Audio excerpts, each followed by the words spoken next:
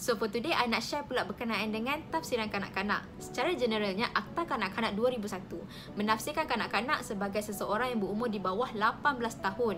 Tapi tahukah anda, definisi kanak-kanak adalah berbeza daripada satu akta kepada satu akta yang lain. Contoh, Akta Penjagaan Kanak-Kanak menafsirkan kanak-kanak Islam adalah mereka yang berumur di bawah 18 tahun. Manakala bagi kanak-kanak yang bukan Islam pula adalah mereka yang berumur di bawah 21 tahun. Akta Pengangkatan pula menafsirkan anak sebagai seseorang orang yang berumur di bawah 21 tahun dan masih belum berkahwin. Okey, kita refer pula kepada perundangan syariah. Di bawah perundangan syariah, tiada tafsiran khusus untuk kanak-kanak.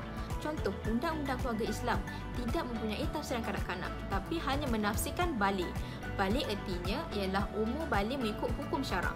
Yang kedua ialah akta atau ordinan atau enactment untuk tata cara jenayah yang hanya menafsirkan pesalah muda yang berumur lebih daripada 10 tahun dan kurang daripada 16 tahun. Akta Undang-Undang Keluarga Islam Wilayah-Wilayah Persekutuan hanya menyatakan seorang lelaki yang berusia 18 tahun dan seorang perempuan yang berusia 16 tahun ke bawah tidak dibenarkan untuk bernikah melainkan setelah mendapatkan kebenaran bertulis daripada Mahkamah Syariah. So that's all from me. I hope you guys learn something today. Thank you. Bye.